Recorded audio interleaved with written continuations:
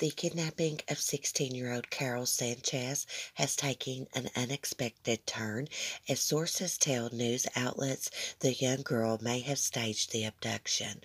One source tells People magazine, looking like she staged it, the incident and that Karol Sanchez may have been upset about an upcoming move to South America. A second source reveals police are investigating the possibility the abduction was staged.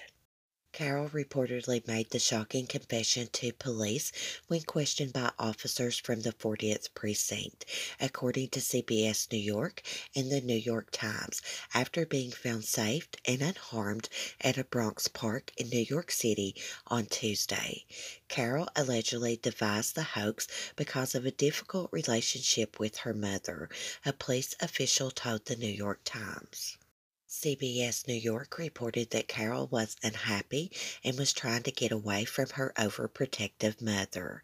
At this time, an investigation into the incident remains ongoing and it is not clear if Sanchez will face charges. The New York Police Department would not confirm if the department believes the kidnapping was staged, but said the investigation is continuing.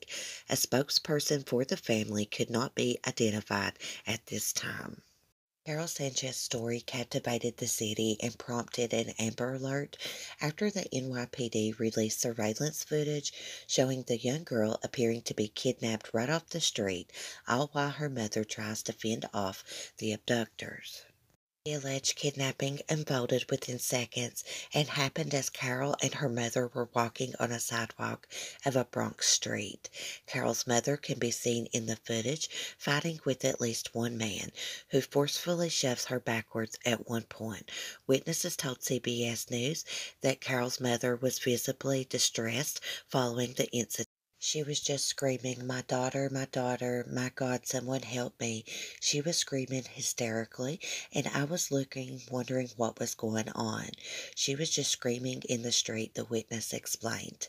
Tuesday afternoon, after the news broke that Karol had been found, journalist Kimberly Richardson tweeted a video clip of the teen's emotional reunion with her mother.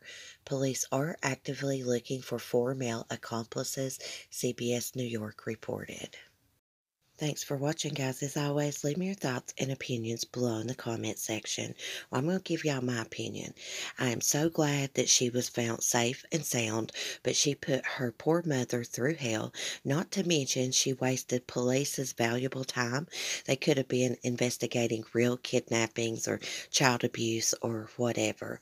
Um, she needs to be grounded, and she probably needs her little butt busted. Now, I know a lot of y'all don't agree with butt busting but I'm from the South and we believe in it here, although I have never busted my son's butt.